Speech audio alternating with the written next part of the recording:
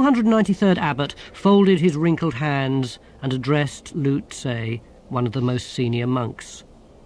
The place is Omnia, he said, on the Klatchian coast. I remember, said Lu Tse. Dry place. Haven't been to Omnia for, oh, must be 700 years. Off you go then. I shall take my mountains, said Lu Tse. The climate will be good for them. It was the year of the notional serpent, which meant that the time of the eighth prophet was imminent. And it came to pass that in that time the great god Om spake unto Baratha, the chosen one. Baratha paused in mid-hoe and stared around the temple garden. Pardon? It was a fine day early in the lesser spring. Bees loafed around in the bean blossoms, but buzzed fast in order to give the impression of hard work. High above, a lone eagle circled. And at the far end of the garden, old brother Lu Tse was dreamily forking over the dung heap. Baratha shrugged and got back to the melons. Yea, the great god Om spake again. Psst. Baratha hesitated. Perhaps it was a demon. The thing to do was to be resolute and repeat the nine fundamental aphorisms. Once more, the great god Om spake unto Baratha. Are you deaf, boy? The hoe thudded onto the baking soil. Get thee behind me, demon! I am behind you. Baratha turned again slowly. The garden was still empty. The third thing people noticed about Vorbis was his height. He was well over six feet tall, but stick thin. The second thing that people noticed about Vorbis was his eyes. Not just dark of pupil, but almost black of eyeball. It was as if he had sunglasses on under his skin. But the first thing they noticed was his skull. Most of the church's ministers cultivated long hair and beards that you could lose a goat in, but Deacon Vorbis was bald by design. He shaved all over, he gleamed, and lack of hair seemed to add to his power. He didn't menace, he never threatened, for Vorbis was the head of the Quisition, and he knew his destiny. Hadn't the god himself told him? He didn't often go down to watch the inquisitors at work. Exquisitors didn't have to. He sent down instructions. He received reports. But special circumstances merited his special attention. Currently, he was sitting alongside the bench on which lay what was still technically the trembling body of Brother Sasho, formerly his secretary. He leant over. What were their names? Don't know. Sasho, they are treacherous heretics. Don't know names. I trusted you, Sasho. You betrayed the church. No names. Truth is surcease from pain, Sasho. Truth? Yes. Sasho opened his one remaining eye. Truth? Yes. Warp drive active. The turtle moves. Baratha picked up his hoe and turned back to the vines. The blade was about to hit the ground when he saw the tortoise. It was small and basically yellow and covered with dust. Its shell was badly chipped. It had one beady eye. Baratha looked around. The gardens were well inside the temple complex and surrounded by high walls. How did you get in here, little creature? he said. Did you fly? The tortoise stared monoptically at him. I don't think tortoises are allowed in the gardens. Aren't you vermin? The tortoise continued to stare. How would you like a grape, little tortoise?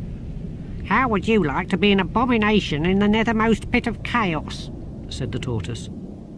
Eventually, Baratha opened his eyes and took his fingers out of his ears. I'm still here. It dawned on Baratha very slowly that demons and succubi didn't turn up looking like small old tortoises. I didn't know tortoises could talk, he said. They can't. Read my lips. Baratha looked closer. You haven't got lips. No.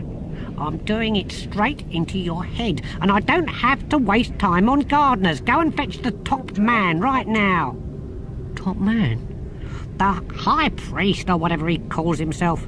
I suppose there is one. Baratha nodded blankly.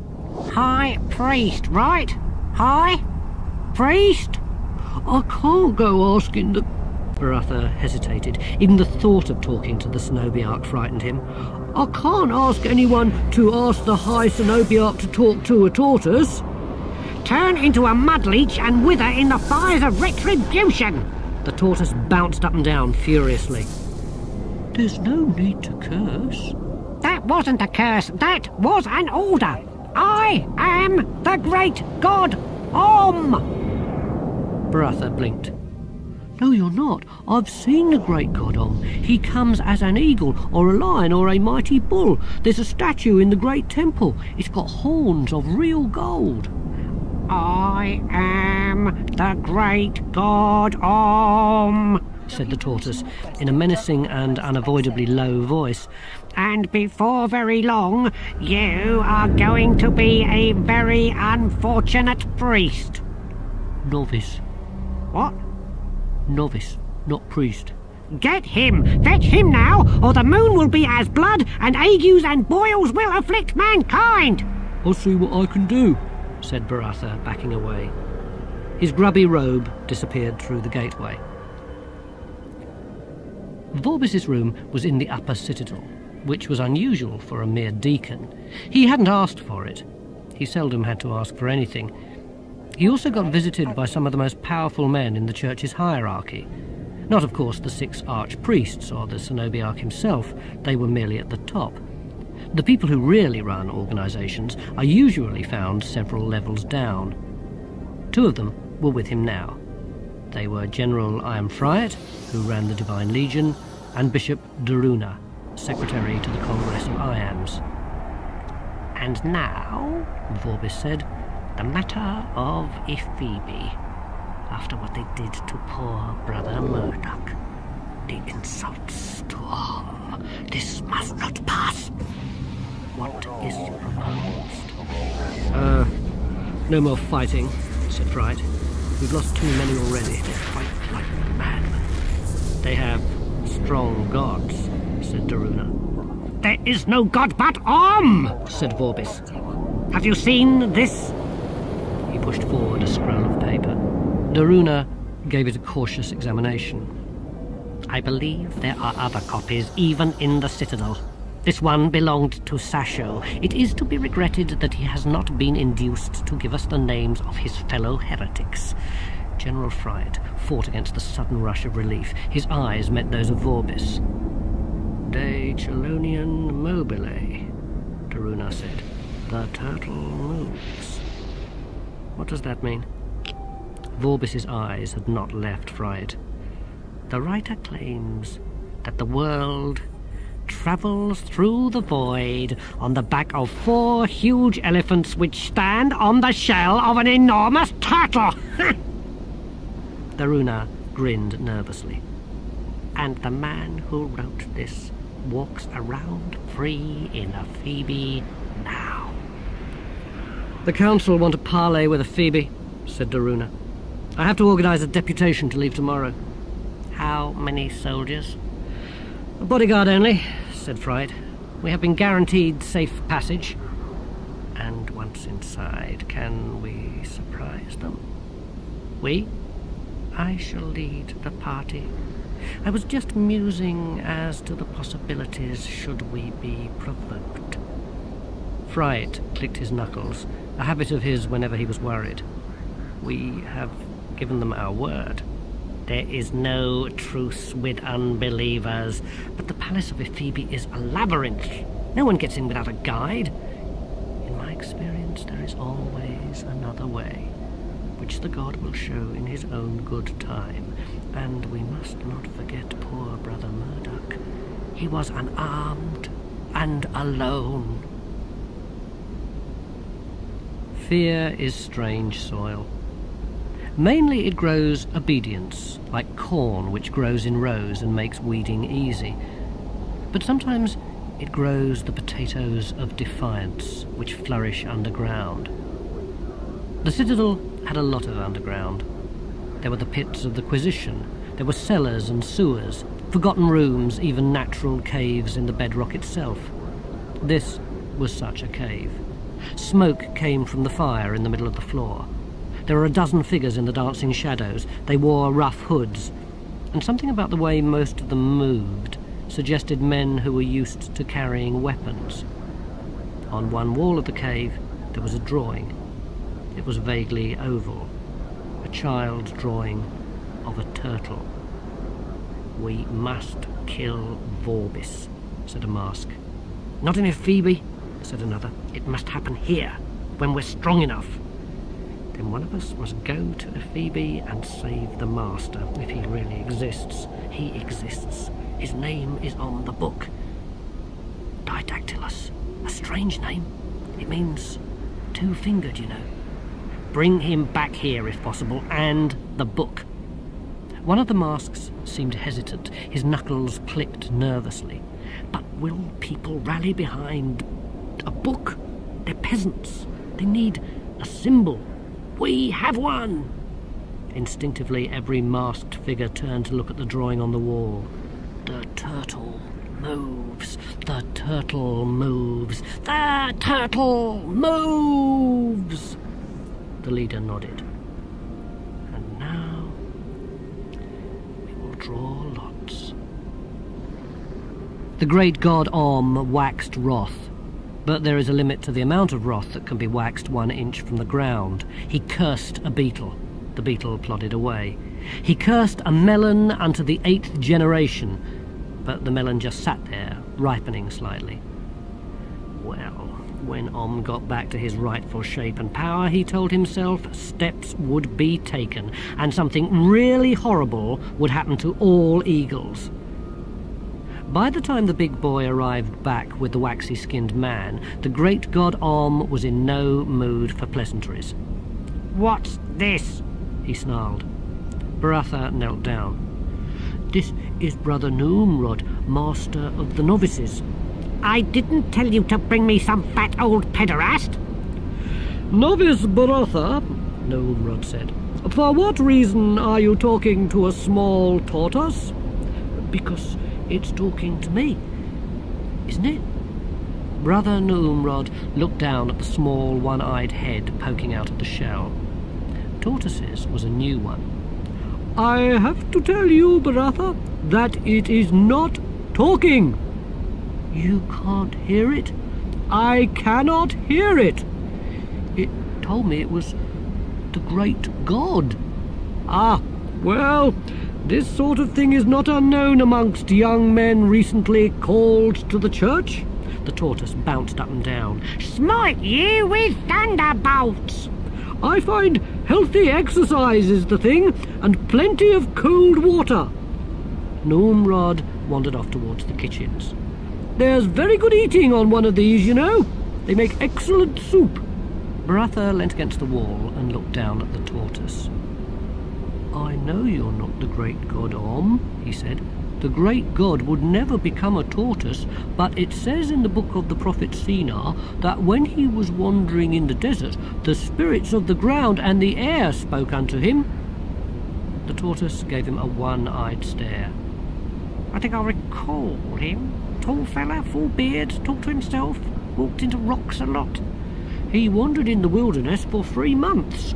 Yeah, that explains it. Perhaps you are a demon. Your teeth to abscess with red-hot heat. Pardon? I swear to me that I am Om, greatest of gods. Your lying tongue cannot tempt me, reptile, for I am strong in faith. The tortoise grunted with effort. Smite you with thunderbolts! A small, a very small black cloud appeared over Baratha's head, and a small, very small bolt of lightning lightly singed an eyebrow. Ouch! Now do you believe me? Baratha hoed the bean rows for the look of the thing. The great god Om ate a lettuce leaf. In the rainforests of Baratha's subconscious, the butterfly of doubt emerged and flapped an experimental wing, all unaware of what chaos theory has to say about this sort of thing. I feel a lot better now, said the tortoise. Better than I have for months. Months? How long have you been ill? What day is it? Tenth of Grune. What year? Um, National Serpent. Then three years. This is good lettuce. Let there be another leaf. Baratha pulled one off the nearest plant, and lo, there was another leaf. And you were going to be a bull? Open my eyes, my eye, and I was a tortoise. Why? I. I don't know. lied the tortoise. But you're omnicognizant. That doesn't mean I know everything. Yes, it does. Thought that was omnipotent. No, that means all powerful. And you are. That's what it says in the Book of Ossory. Told him? You did. No, I didn't. He said that you spoke unto him from out of a pillar of flame, Oh, that Ossory. and you dictated to him the book which contains the directions, the abjurations, and the precepts. 193 chapters. I don't think I did all that. Perhaps he wrote it himself. Baratha put his hands over his mouth in horror. That's blasphemy!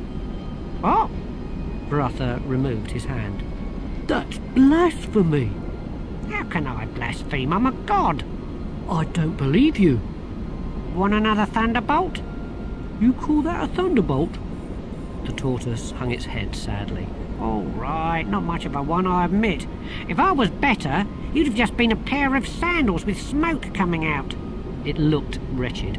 I don't understand it. I intended to be a great big roaring white bull for a week and ended up a tortoise for three years. I was beginning to think I was a tortoise dreaming about being a god. Perhaps you are. Your legs to swell to tree trunks. But but you're saying that prophets were just men who wrote things down. It wasn't from you. Some of it, perhaps. I've forgotten so much the past few years. The tortoise paused. Can I say something? Om searched his fading memory. I remember a summer day. You were 13. Your grandmother had beaten you for stealing cream, which in fact you had not done. She locked you in your room and you said, I wish you were. Vorbis strolled through the citadel. He always made a point of taking a daily walk through some of the lower levels. He rounded a corner and saw, scratched crudely on the wall opposite, a rough oval with four crude legs and even cruder head and tail. He smiled. There seemed to be more of them lately. Let heresy fester, let it come to the surface like a boil. Vorbis knew how to wield the lance. But the second or two of reflection had made him walk past a turning, and instead he stepped out into the sunshine. This was one of the walled gardens. Bean vines raised red and white blossoms towards the sun. Melons baked gently on the dusty soil, and a plump young novice was rolling in the dust with his fingers in his ears. Vorbis prodded Baratha with his sandal. What ails you, my son? Baratha opened his eyes. There weren't many members of the hierarchy he could recognize. Even the Cenobiarch was a distant blob in the crowd, but everyone recognized Vorbis the Exquisitor. Baratha fainted. How very strange. There was a small tortoise near his foot, hissing like a kettle. Vorbis picked it up, examined it carefully, found a spot in full sunshine, and put the reptile down on its back. After a moment's thought, he wedged a couple of pebbles under the shell so that the creature's movement wouldn't tip it over. Then he turned his attention to Baratha. There was a hell for blasphemers. There was a hell for liars. There was probably a hell for little boys who wished their grandmothers were dead. The Omnians had a great many hells. Currently, Baratha was going through all of them. Brother Nhumrod and Brother Vorbis looked down at him, tossing and turning on his bed like a beached whale. It's the sun, said Nhumrod. The poor lad works all day in that garden, a very willing lad. He's the one I told you about. He doesn't look very sharp. He's not. Yet you tell me his tutors speak highly of him. Nhumrod shrugged. He is very obedient and, well, there's his memory. He has got a good memory? It's superb. A devoutly read young man? He can't read? All right. How then has he become such a capable pupil? He listens. He listens to everything. And he takes it all in. Vorbis stared down at Baratha. He appeared to be thinking deeply.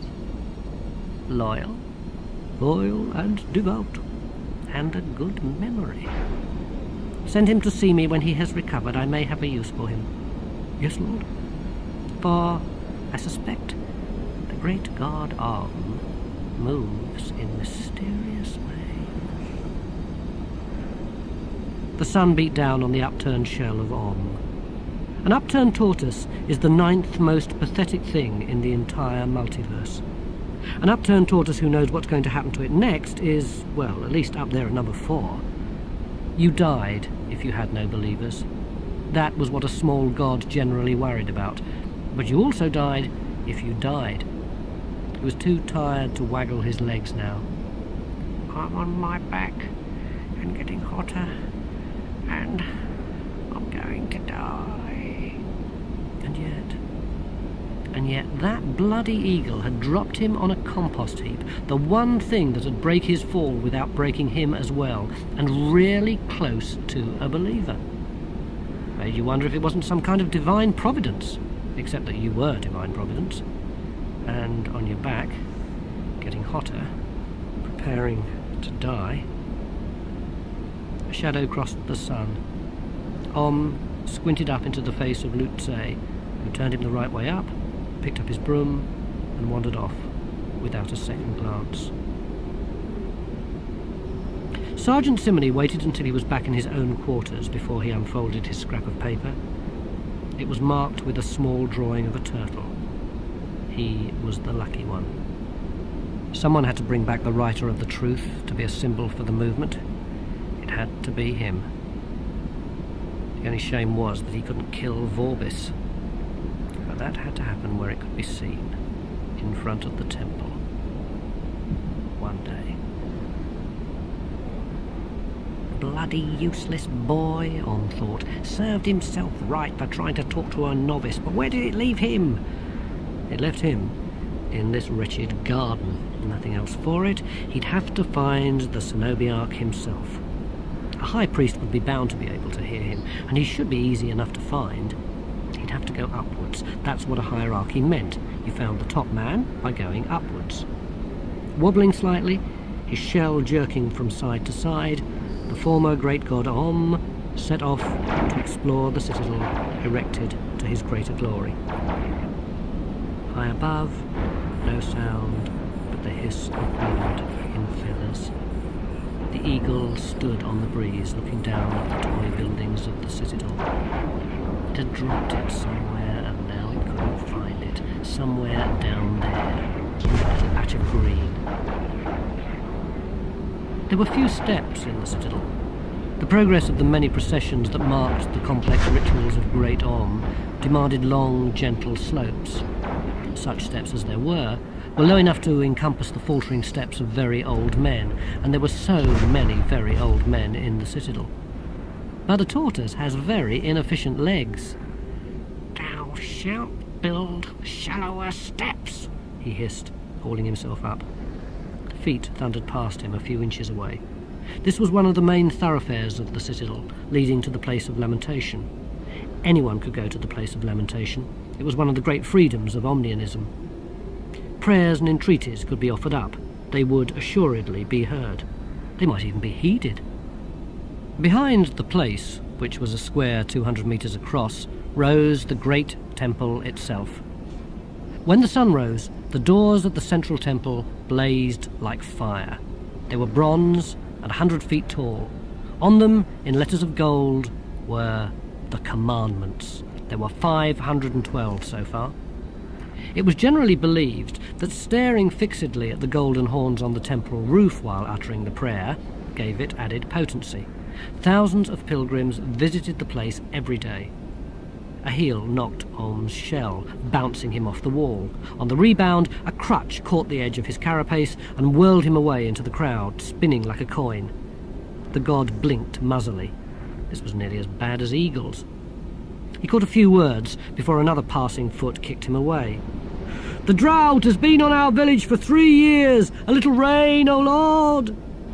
Rotating on the top of his shell, vaguely wondering if the right answer might stop people kicking him, the great god muttered, No problem. Another foot bounced him, unseen by any of the pious, between the forest of legs. The world was a blur. Then he landed, right side up, in a brief, clear space. Visible. From his perch on the horns of the temple, the eagle leapt into the sky. Eagles are single minded creatures. Once the idea of lunch is fixed in their mind, it tends to remain there until satisfied. The tortoise's one eye swiveled upwards in dread anticipation. A small grey priest ushered Baratha into a small, barely furnished room. He pointed at a stool. Baratha sat down. The priest vanished behind a curtain. Baratha took one glance around the room, and blackness engulfed him. A voice by his ear said, Now, brother, I order you not to panic. They put a hood over your face. All the novices knew that. Stories were told in the dormitories, so the inquisitors didn't know who they were working on.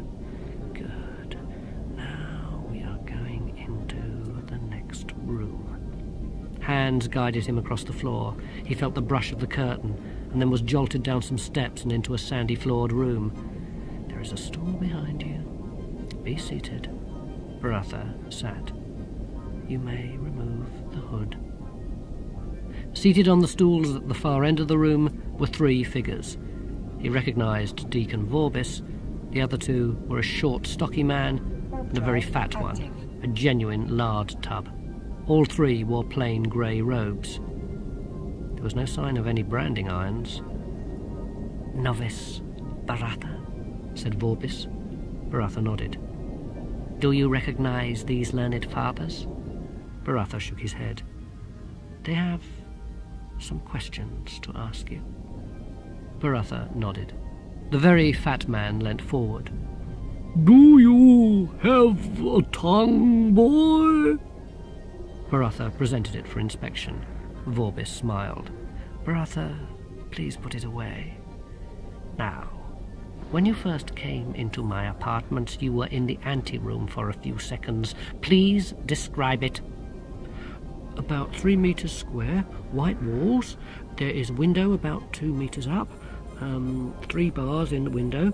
There is a holy icon of the prophet Ossory carved from aphasia wood, and there is a scratch in the bottom left hand corner of the frame. There is a shelf under the window. There is nothing on the shelf but a tray. On the tray, a bronze thimble, two needles, and a length of cord, three knots in the cord, and nine coins were on the tray. Tell me about the coins. Three were citadel cents, two showing the horns, and one the sevenfold crown. This is some sort of trick, said the fat man. Baratha, tell us about the other coins. They were bronze. Direct-my from Ephebe. How do you know this? I have seen them once before, Lord. When was this? I think it was around midday on Grune the Third in the year of the astounded beetle. Some merchants came to our village. How old were you? I was within one month of three years old, Lord. Can you remember everything that's ever happened to you? said the stocky man. Uh, no, Lord. Most things. What is the first thing you can remember, my son? said Vorbis kindly.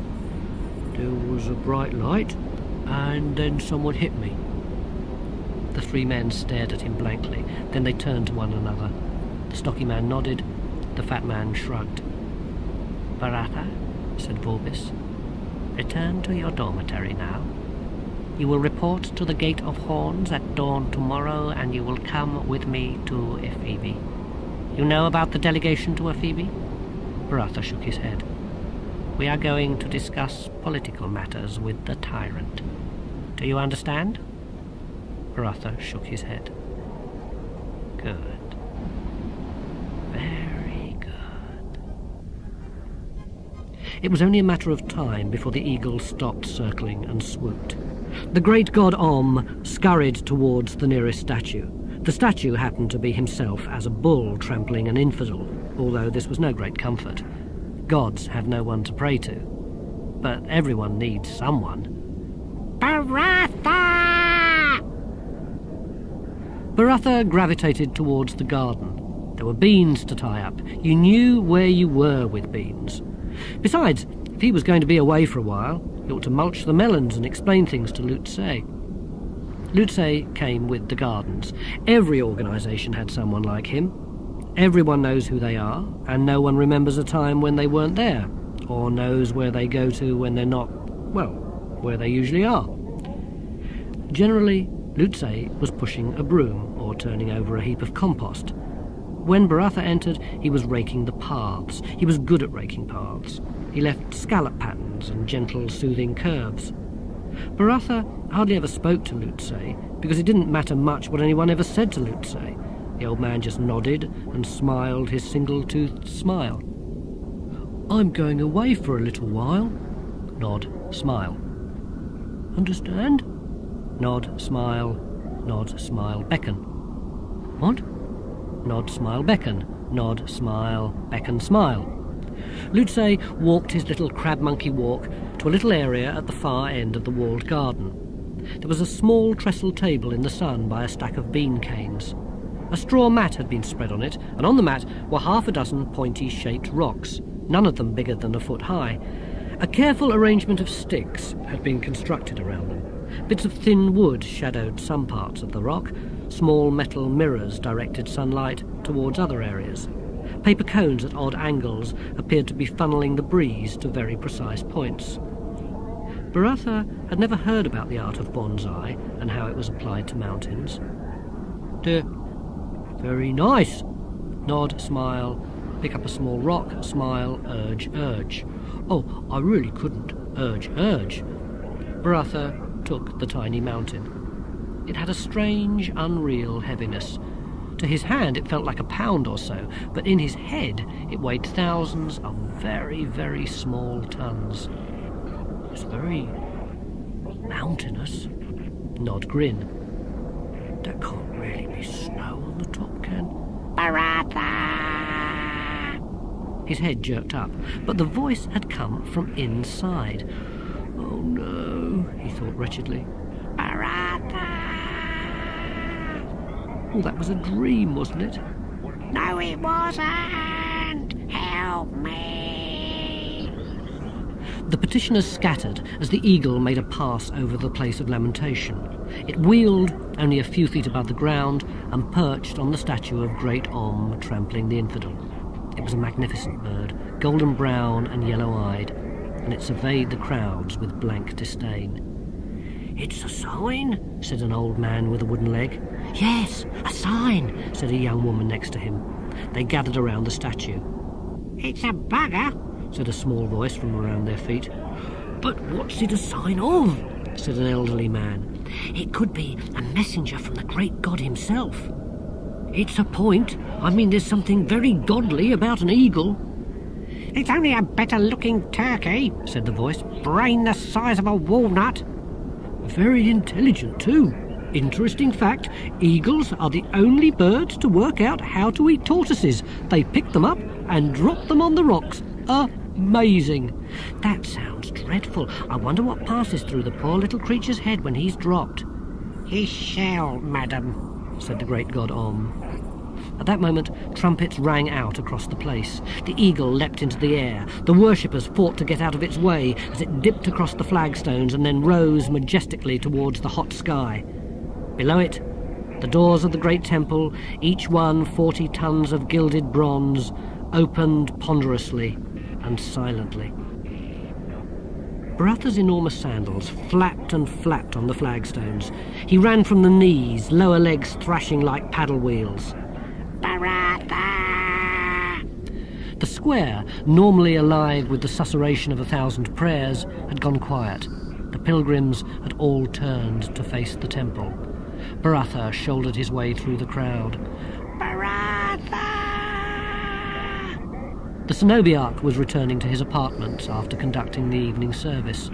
Baratha leant against the statue, panting. No one was paying him any attention. They were all watching the procession.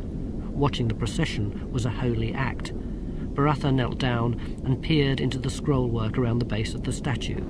One beady eye glared back at him. How did you get under there? It was touch and go, said the tortoise. I tell you, I never had this trouble when I was a bull. The number of eagles who can pick up a bull you can count on the fingers of one head. There's good eating on one of them, you know, said a voice. Baratha stood up guiltily, the tortoise in his hand. Oh, hello, Mr. Dibbler. Everyone in the city knew Cut Me Own Hand Off Dibbler, purveyor of suspiciously new holy relics, suspiciously old sweetmeats on a stick, and long past the sell-by dates. He was there every dawn, selling sticky things to the pilgrims, and the sight of someone in the place trying to unstick their jaws with dignity was a familiar one.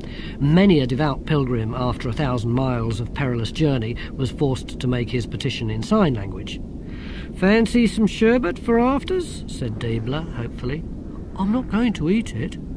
Going to teach it tricks, then? Look through hoops, that kind of thing? Who is this fool? said Om. Get rid of him. Shut up. No need to be like that. I wasn't talking to you. Talking to the tortoise, were you? My old mum used to talk to a gerbil. Anyway, it'll be company on your journey. What journey? To Ephebe, the secret mission to talk to the infidel. Baratha knew he shouldn't be surprised. News went around the enclosed world of the citadel like bushfire after a drought. Can I press you to a candid sultana? On a stick? There were 23 other novices in Baratha's dormitory, on the principle that people by themselves might indulge in solitary cogitation. It was well known that this stunted your growth. For one thing, it could lead to your feet being chopped off. So Baratha had to retire to the garden. He fished out his god from the pocket of his robe. Look, I didn't have a chance to tell you. I'm going to Ephebe on a mission to the infidels. Deacon Vorbis picked me. Who's he? He's the chief exquisitor. He makes sure you're worshipped properly, lets out the badness and the heresy in people. There may be a little pain, but it ensures less time in the hells after death. But what if the exquisitors are wrong? They can't be wrong. They are guided by the hand of, of, of, of by your hand. I mean, your claw. The testament of Ossory is very clear on the matter. We are judged in life as we are in death. Ossory 3, chapter 6, verse 56. My grandmother said that when people die, they have to cross a terrible desert.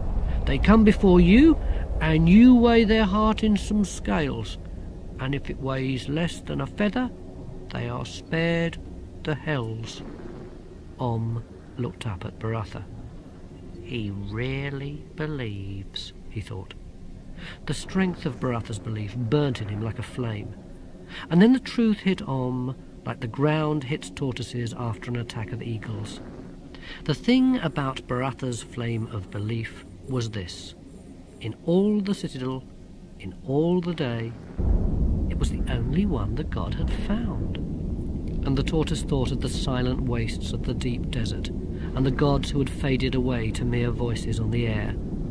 Gods who were left behind, gods with no more believers. Not even one. One was just enough. You've got to take me to this Ephebe place, he said urgently. He was trying to keep his innermost thoughts calm in case Baratha heard. Don't leave me behind. General Fri'it was trying to pray. He hadn't done so for a long time. Of course, there'd been the eight compulsory prayers every day, but in the pit of the wretched night, he knew them for what they were a habit. And he'd drunk too much tonight. from a secret cache of wine whose discovery would lead him into the machinery of the Inquisitors within ten minutes. He squeezed his eyes shut again, and all he could see was the face of Vorbis. Vorbis knew about him. He must do. How much had he got out of Sasha? Had he said what he knew? Of course he'd say what he knew. Something went snap inside Fri'it. He glanced at his sword hanging on the wall. Why not?